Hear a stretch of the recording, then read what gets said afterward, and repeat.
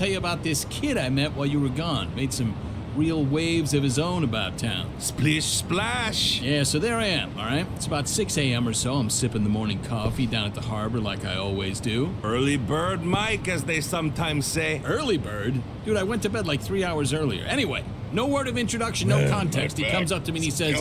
Excuse me, do you know a place where sailors hang out? I'm getting hungry. Sailors. Yeah, sailors. Sailors. So I'm like, I don't, I don't know. I don't have any clue, but maybe there's a, you know, we're by the harbor, so maybe that's a good place to ask around. Okay, okay, all right. All right, so lo and behold, the kid turns around and immediately asks the 10 or 12 people down the line, bouncing from one to the other like a pinball, where are their sailors? Where are their sailors? Have you seen sailors? Anybody seen sailors? And I'm like, enough with the sailors already. Hmm. You're in a harbor. They're around here somewhere. Aw, poor kid was probably lost or something, huh? I don't know. He just looked like more like he was on a mission of some sort. I mean, you should have seen him. He had this leather jacket on with this big tiger emblem on it, real slick. That's not even the half of it. A couple days later, I'm over at Hip Hop Shrimp, wolfing down the usual. There's the kid. That's right, there's the kid. Except this time, he's asking about a warehouse. Think you found his sailors. I don't know, but maybe they keep the sailors in the warehouse, so I don't know.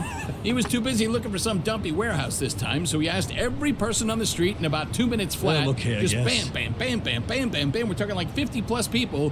Where is the warehouse? Well, sounds like the kid gets around. I know, and that's not even the worst part. You know that alley behind my house? Get out of here. So I'm back grilling one night a couple days later, and there he is.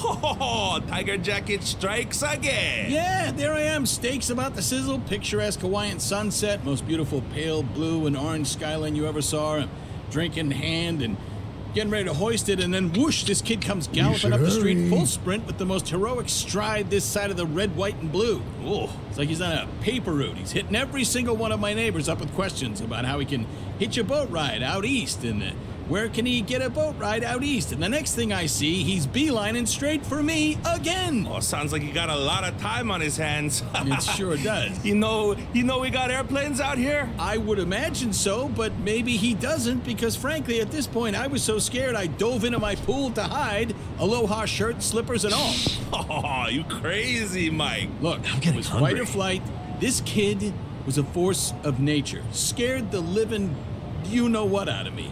Way too intense for this old Burbank original, you know what I'm saying? Yeah, sounds like it, cuz. Oh, hope he made it back to the mainland. Yeah, let's hope. Because, uh, kid, uh, if you're listening, you best of luck from me and Big P. Hope you find what you're looking for and stay away from my house! Yeah, stay away from Mike. You should hurry.